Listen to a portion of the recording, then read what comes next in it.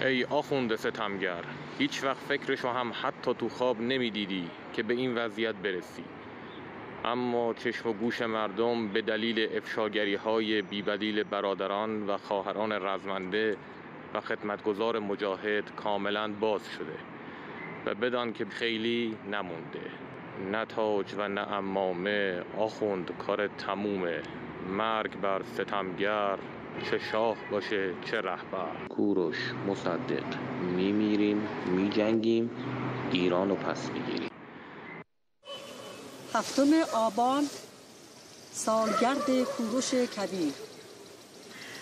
کوروش مصدق. روحت شاد.